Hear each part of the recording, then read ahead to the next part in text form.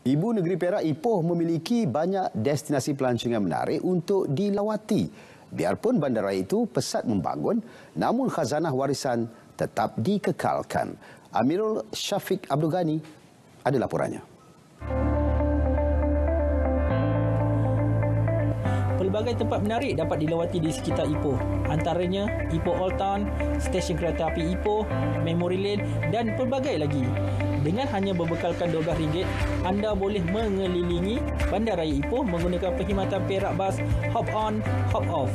Lebih menarik, perkhidmatan ini juga lengkap dengan khidmat pemandu pelancong uh, menaiki bas uh, Perak Hop On Hop Off uh, untuk uh, tengok Perak tu sendiri secara dekat. So kita dapat tahu lorong-lorong yang selalunya orang tak pernah dengar seperti uh, Kokiban Lane. Orang tak tahu pun Kokiban Lane tu apa uh, sejarah-sejarah dekat Perak juga. Orang ramai tak tahu. Especially sebagai saya seorang anak muda, saya pun tak tahu apa yang ada yang dan menariknya Perak ni.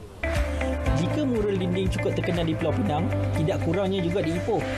Pelbagai mural dinding unik tersedia di Concubine Lane. Kawasan klasik lengkap dengan operasi perniagaan menjadikannya tempat tumpuan pelancong. Selain bergambar, pengunjung turut berpeluang mendapatkan cenderamata selain bersantai di kafe-kafe hipster. Beroperasi sejak lebih seabad lalu, stesen kereta api Ipoh antara permata bandaraya ini. Dengan senior bina klasik, tidak hairan apabila ia mendapat jolokan nama Taj Mahal Ipoh.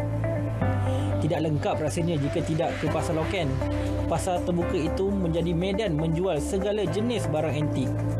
Ia turut dikenali sebagai Pasar Karat. So far biasanya kalau kasut, bukan kata kasut lama ya, ah, kasut baru.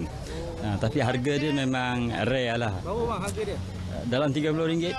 Ah, RM30. Biasa kat luar dalam 80 90 kan. Untuk mencari macam hobi-hobi saya lah macam kereta Hot Wheel, uh, barang-barang lama, barang klasik tapi mudah dapat di sini lah.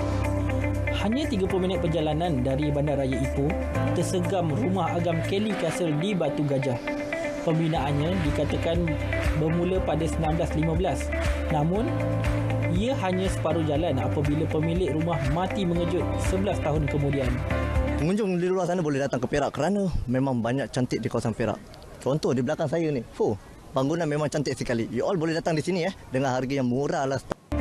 Dengan kepelbagaian yang ada, tidak mustahil Ipoh menjadi pilihan pengunjung dalam dan luar negara. Selamat tahun melawat Malaysia.